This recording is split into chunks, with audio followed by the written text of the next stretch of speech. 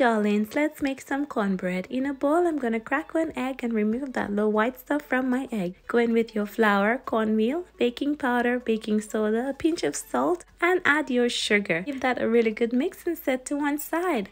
Add in your cracked egg and some buttermilk to a bowl as well as some melted butter and honey. Give it a really good mix. Then you want to sort of combine your dry ingredients with your wet ingredients till you have this gorgeous batter. Here I've got my ramekins. I'm going to oil them up and put a generous amount of butter into them. Then you want to go ahead and push this into the oven to bake for about 20 minutes. After 20 minutes, it should look something like this.